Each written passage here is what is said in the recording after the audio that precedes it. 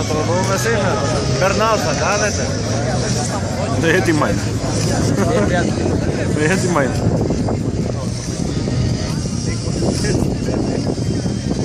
Σαν τη βάρκα πάει. Για το αριστερό διάδρομο λοιπόν θα είναι Αριστερά λοιπόν είναι ο Περιμέρης, δεξιά είναι ο Ντέμος για τη Β' Ταυστείο.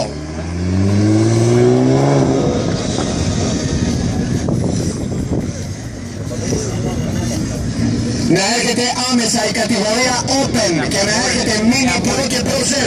Επαναλαμβάνω, κατηγορία Open και να έρχεται Mini Pro και Pro Z. Δεν ακούω ρε φίλε. Τεράστια μούρη δώσ' του.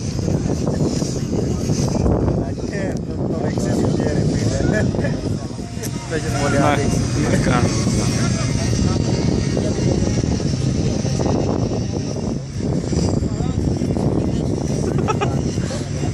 κάνω ρε μαλάκα.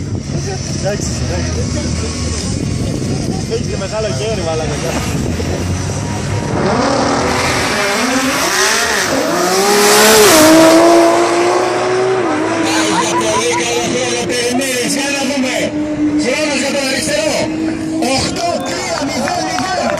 Τρία μαλάκα.